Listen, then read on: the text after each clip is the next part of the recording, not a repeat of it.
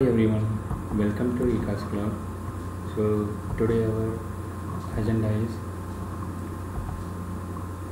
VPN, Virtual Private Network. So now we are discussing this new topic. So what is VPN?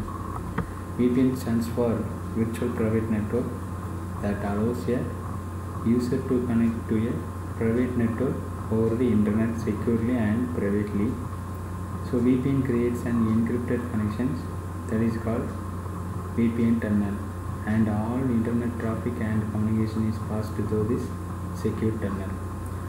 So first of all we will go for VPN. Example single users are using example work from home that using our office uh, network office server to access using VPN. So our connection is uh, secure. So secure connections we are go for VPN so that is the main reason.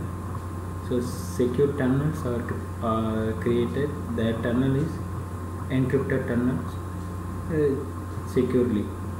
That's why we can use for VPN that is the main reason. And uh, VPN basically for two types one is remote access VPN and next is site to site VPN internet and external VPNs so this is a, some few details in VPN so thanks for watching this video